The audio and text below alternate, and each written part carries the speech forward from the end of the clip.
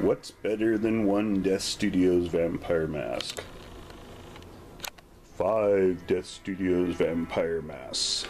Tonight we're going to be taking a look at my entire collection of Death Studios vampire masks.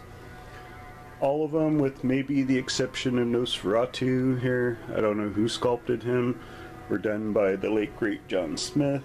They're all really, really fantastic masks, and I highly, highly recommend all these undead ghouls to you fine folks out there. So let's get in and take a look at these guys. First off is Nosferatu himself, the king of the vampires. Really, really amazing.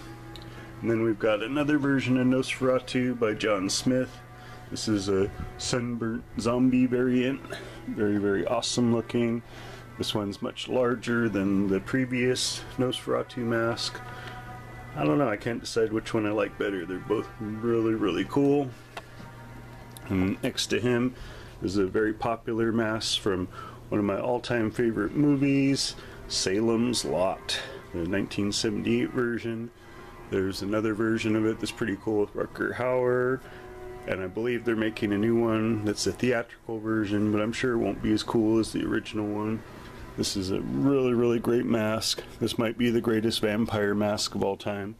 It's hard to say for sure, but it's definitely in the top five of all time great vampire masks. The next to him is the albino vampire. A really, really cool old school Death Studios mask. This originally came out in the 80s and it's been in production for years and years.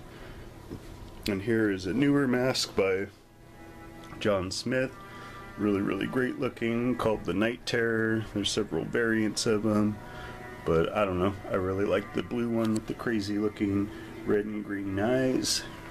So there you have it folks. There's all of my Death Studios vampire masks. I don't know. I can't decide which one I like the best. Maybe Mr. Barlow but they're all very very cool.